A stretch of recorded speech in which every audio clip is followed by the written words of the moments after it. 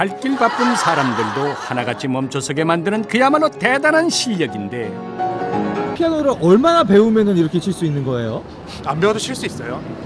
어, 피아노 전공한 거 아니에요? 아 저 화학공학과 전공.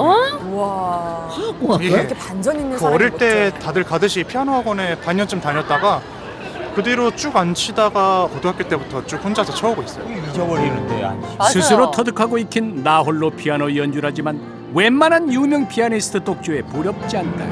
구경하는 사람들이 꽤 있어요. 네. 독특하니까 연주도 잘하는데요. 입 딱 벌어지게 하는 고품격 연주에 누구나 즐길 수 있는 도심 한복판 길거리 콘서트. 젊은 친구여서 그런가요? 좀 새로운 시도가 좀 신선했어요. 공연장 가서도 볼 수 없는 걸 길거리에서 봤다는 게 참 좋은 경험이었던 것 같아요. 반주로 드럼 같은 거 같이 들리는 느낌? 5인조 같죠? 마이클 잭슨도 아. bounce bounce하게 만들 특유의 드럼 저건 비트를 진짜 드럼 비트가 있어야 되거든요. 맞아요. 이렇게 손으로 장단을 치면서. 그대로 구현해낸 느낌이 확 살아요. 드럼 소리에서 원래는 착안을 한 건데 예를 들어서 뭐 여기 이렇게 치는 거는 좀 스네어 드럼하고 좀 많이 비슷한 소리.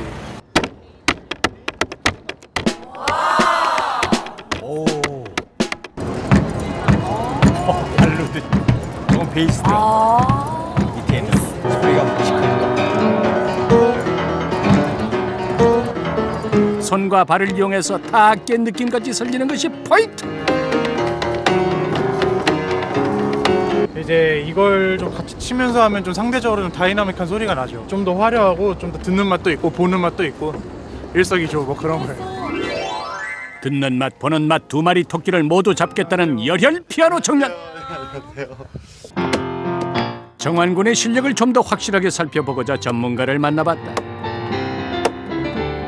아, 이렇게 피아노를 치는 사람도 있고 곡을 쓰는 사람도 있구나. 피아노 치는 거를 제가 보지 않고 만약에 들었다면은 다른 사람이 뒤에서 다른 악기나 피아노를 두드리고 있고 그냥 혼자서 피아노를 맞아요. 연주만 하고 있는 것 같아요. 밴드일 것 같죠? 경력 10년 피아노 전문가가 도전했지만 잘 안 돼. 이게 안 돼요. 비트를 쳐야 할 손은 이내 갈 곳을 잃고 급기야 둘이 함께 도전해 보는데 그쵸 이렇게 그래도 이렇게 그래도. 어색해. 아 이거 어렵다. 둘이 해도 어렵다. 그렇죠. 둘이 해도 박자가 안 맞겠죠. 이런 사람이다 진짜. 그러니까 리듬을 왼손을 신경을 쓰면은 오른손이 얘 따라가게 되고 얘 혼자 이렇게 못 놀겠어요. 얘는 이렇게 누르고 얘는 이렇게 치니까 이게 방향이 다르잖아요. 완벽한 멀티플레이 양손을 다 되시겠다. 게다가 현란하게 장단을 맞추는 것도 놀라운데 화려해요.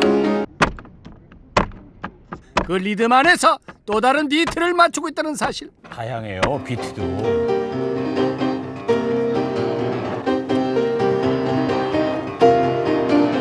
박자엔 한채 흐트러짐이 없다. 여기 치다가